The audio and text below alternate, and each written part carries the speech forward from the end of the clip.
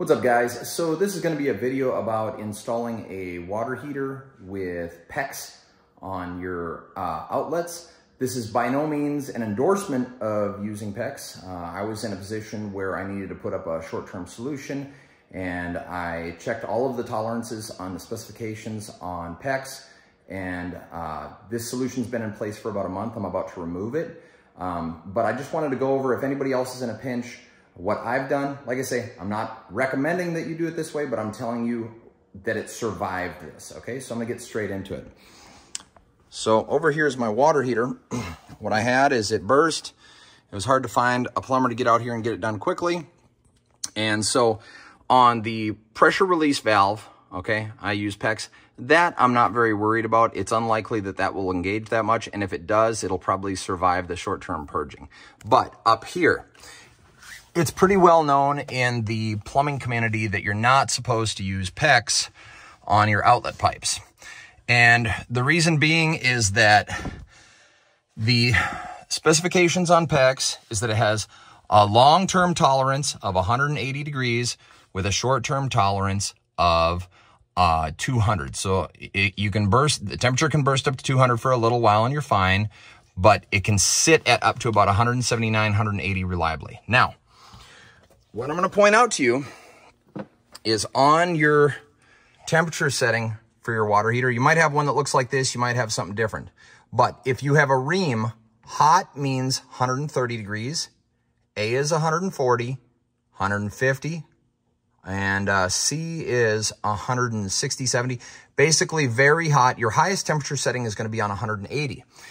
Now, if you set your temperature setting to 180, you're 100% going to have problems because that means that the water is going to come out of the top there at 180 and the ambient heat that comes off of your exhaust vent is going to add to that. So this PEX is 100% going to have long-term exposure to water that to a, a temperature that's above 180. Now I've got mine set to A, which should be 140 degrees. All right. Now, in case you don't know, if you can hold something for five seconds, okay, without getting long-term burns, that's going to be about 140. Once you get up to 150 and higher, it's going to be very hard for anybody to hold something for five seconds. It'll create major burns. If you, if you were to keep your hand on something that was 180 for five seconds, you'd have a big problem. Okay. So right now I'm going to tell you a couple things that I found. I checked the temperature on these pipes right when I got it done. And even with this set at, even with the water temperature set at 130 below on the pilot, or on the temperature setting, this was getting way hotter. So what I did is I brought the vent almost plumb to the surface, okay, by bending these. And then what I found, my ultimate thing that really made it vent the heat out better is I wrapped up where it joins. So this vent is extremely efficient at the, this point at getting all of the heat out of it, out of the house. Okay, so that was a problem.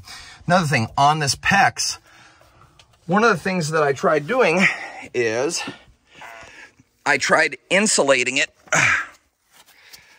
from the exhaust pipe by wrapping these sleeves around it, okay? Well, I took these off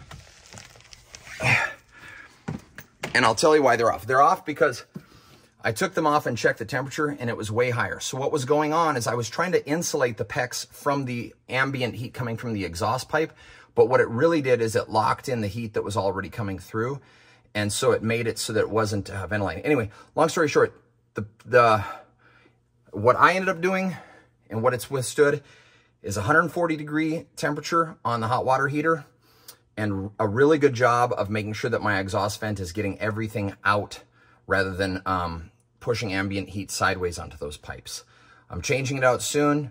Uh, you should probably uh, not do, you probably should not use PEX, but if you're gonna, mine has tolerated it for about a month with no problems whatsoever. All right, have a good day, guys.